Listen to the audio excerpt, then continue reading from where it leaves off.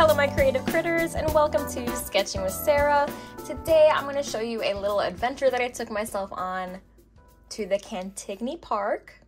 I went there for the first time at the only day of the year that they allow dogs at the park. So I took my dog there this year and I went the past year that they had the event as well. And I just fell in love with all of the gorgeous flowers that were everywhere and how well kept everything was. And I knew once I had the experience bringing my dog there, I wanted to explore it on my own and take my sketchbook and draw some of those beautiful flowers and the gorgeous scenery that is in that park.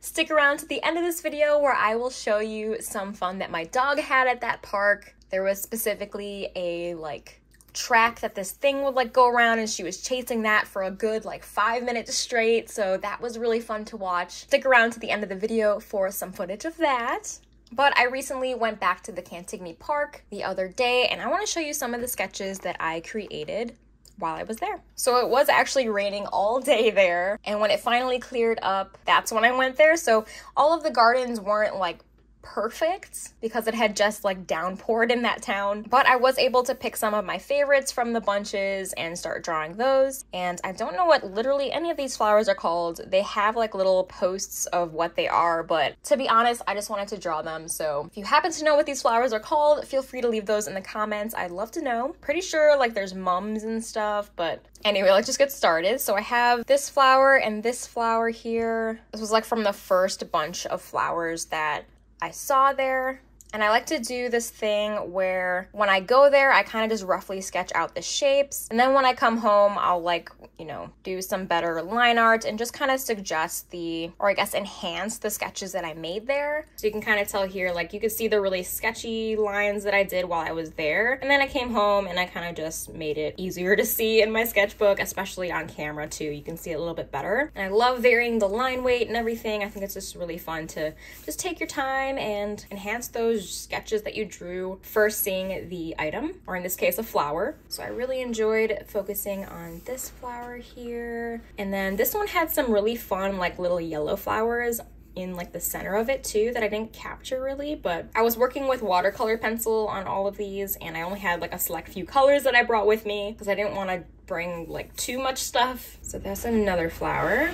And then over here, this is another flower that I did. I think this was a mum. Again, I'm not entirely sure, but I will be showing a compilation of all the videos that I took while I was at the Cantigny Park. So you'll be able to see all of the flowers in real life, so stick around for that. I like this one because it was very like pom-pommy and all the petals kind of shot out from the center. I thought it was really pretty. And I tend to gravitate towards the flowers that I think are the prettiest or that are my favorite colors. So I really liked the magenta, maroon, pinky kind of flowers. And I like focusing on some of the leaves too because some of them had like really interesting shapes to them. I will say that it was super humid after the rain there, so it was very sticky and hot, so I didn't spend too much time in one area versus another. So I kind of just kept moving around, doing a little sketch here and there and moving on. And then my favorite part of the whole Cantigny Park, let me zoom out a little. They have this garden called, I think it's called the Idea Garden, but they had this gorgeous little lily pond with some running water and rocks everywhere. And they have like little koi fish inside of it as well in the pond part.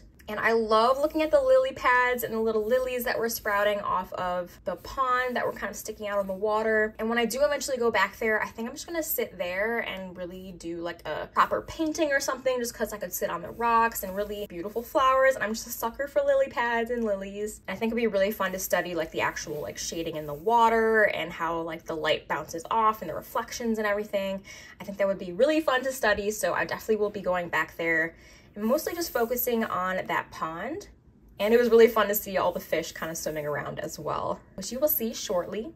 But this is all that I was able to sketch on that trip to the Cantigny Park. I hope you enjoyed this little mini sketchbook spread tour type situation here. I really enjoy just taking my time, strolling the park, and just drawing whatever I felt like drawing. It wasn't super crowded because, like I said, it rained basically the whole rest of the day. So I really caught that park at a slow time.